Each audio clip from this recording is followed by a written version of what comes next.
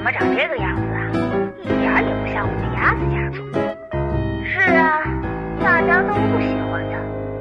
唉，真是个可怜的小家伙。They say you're not free, not good boy，我睁眼看你，这里没有你的 size，前面左转出去。我看的电影怎么都不是这种剧情。I hate you, and you, and you。他说你不是我的菜，短裙都塞不进，高的两大眼睛最好别超过九十斤。小不能太大声脂肪和吹算卡路里，这样下去真的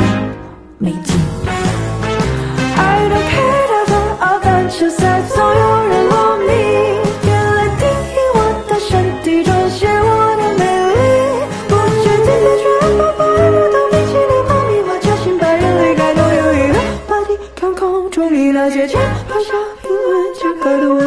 丑小鸭到哪里，总都会被指指点点。它总是不停的流浪，孤单的它每天都要为食物和住所逃离，十二点便利店该不该光临？这是加班后唯一可以放松的事情。橱窗里的都去标语吸引我注意，包容自己。Now you and me，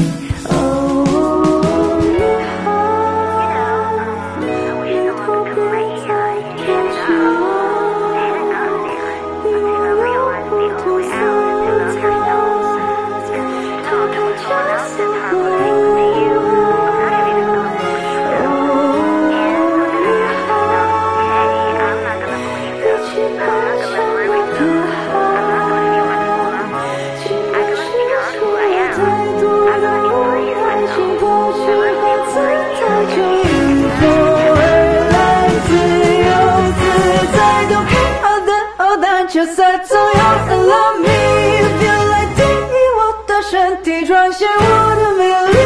不知道别却会把你爱的。